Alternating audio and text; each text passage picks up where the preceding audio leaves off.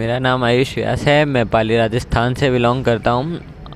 आज से एक साल पहले मैंने पल्स एजुकेशन विकास सर के थ्रू मैंने एम स्कूल ऑफ़ मेडिसिन में एडमिशन लिया था। कोविड की वजह से एक साल तक हमारी क्लासेस ऑनलाइन चली। अब फाइनली फोर्टीन अक्टूबर को हमने दिल्ली से फ़्लाइट बोर्ड की। हमारा लेओवर है बैंकॉक में। दिल्ली में इमिग्रेशन लगेज और जितने भी इम्पोर्टेंट प्रोसेस होते हैं वो सब में सर ने हमारा साथ दिया। उसके बाद अभी बैंकॉक एयरपोर्ट पे हैं। और यहाँ पे हमारा लेओवर है। अब हम फ़्लाइट बोर्ड करने वाले हैं मनीला के लिए। वहाँ पे भी सर हमारे साथ रहेंगे सा, सात दिनों के लिए।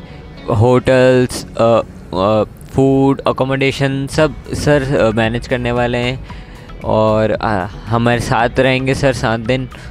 मैं सेकेंड ईयर स्टूडेंट हूँ और कोविड की वजह से हमारा एक साल ऑनलाइन गया है।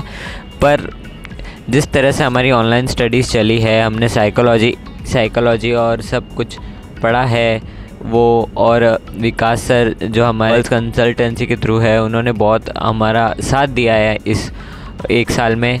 और हमको बहुत अच्छे से गाइड किया है कि हमें क्या क्या करना है।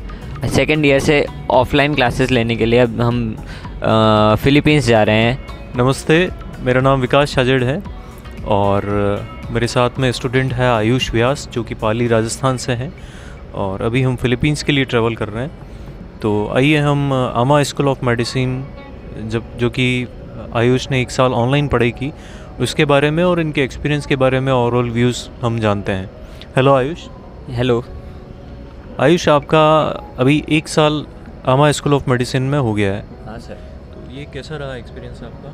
एक्सपीरियंस ओवरऑल बहुत अच्छा रहा। टीचर्स बहुत सपोर्टिव है। आपके थ्रू भी बहुत सपोर्ट मिल रहा है।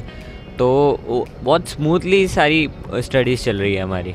अभी क्या सब्जेक्ट्स अभी हमारे जो इस सेमेस्टर में सब्जेक्ट है वो मेनली साइकोलॉजी से रिलेटेड है। एक्सपेरिमेंटल साइकोलॉजी अब normal psychology and clinical psychology and वो दो तीन फ़िज़िकल फिटनेस एंड बस नाइन टाइप्स के सब्जेक्ट है वो तो डिपेंड करता है कि आप कौन से सेक्शन में हो और तो लगभग एक साल ये आपका बेसिक साइंस जैसा बीएस प्रोग्राम जो आपका है वो ऑनलाइन हो गया है। अभी आपकी ऑफलाइन क्लासेस मैं हमारी ऑफलाइन क्लासेस अभी नवंबर अप्रॉक्स टेन नवंबर से शुरू हो जाएगी ये सेमेस्टर एंड होते ही। और इसके बाद हम मेन एमडी प्रोग्राम में एनरोल करने जा रहे हैं। जहाँ पे हम मेन मेडिकल एनाटॉमी फिजियोलॉजी और सब पढ़ेंगे। तो क्या लगता है मतलब कितना एक्साइटेड हो आप? क्या लगता है कि आप कर पाओगे या अभी क्या चैलेंजेस आए हैं? एक्साइट एक्साइटमेंट तो बहुत है मतलब बचपन से यूँ ड्रीम रहा है डॉक्टर बनने का और वो अब हो रहा है मतलब और कॉन्फिडेंस तो पूरा है हो जाएगा हमसे क्योंकि टीचर्स और आप बहुत ज़्यादा सपोर्टिव हो तो बहुत जैसे एक साल स्मूथली निकला है, बाकी के चार साल भी आराम से स्मूथली निकल जाएँगे। अच्छा अभी जैसे अभी जो ट्रैवल हम कर रहे हैं, उसके बारे में क्या एक्सपीरियंस रहा? ट्रैवल भी एकदम स्मूथ रहा। एयरलाइंस लेके सारे प्रोसेस दिल्ली एयरपोर्ट पे लगेज इमिग्रेशन सिक्योरिटी सब में असिस्टेंस और मतलब जैसे फ़र्स्ट टाइम ट्रैवल भी अगर कोई कर रहा है तो उसके लिए एकदम इजी रहेगा ट्रैवल करना। और मतलब कोई प्रॉब्लम नहीं आने वाली है ट्रैवल में भी।